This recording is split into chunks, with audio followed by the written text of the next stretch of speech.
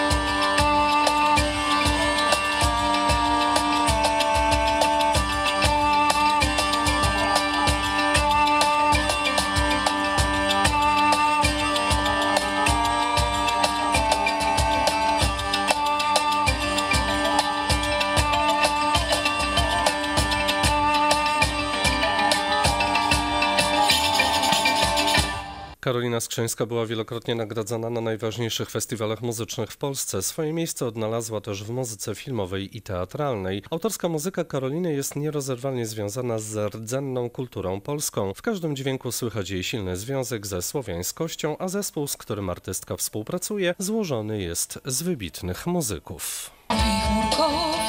mali Na żebry przyszli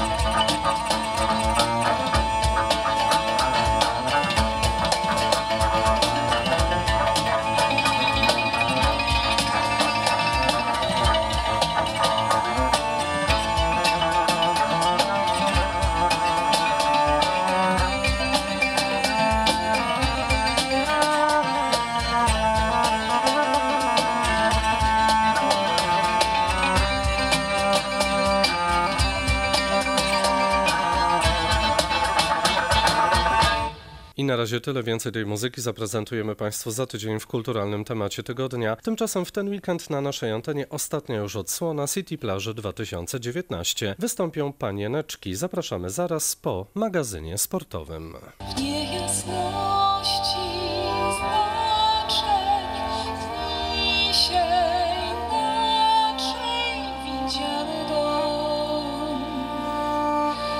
W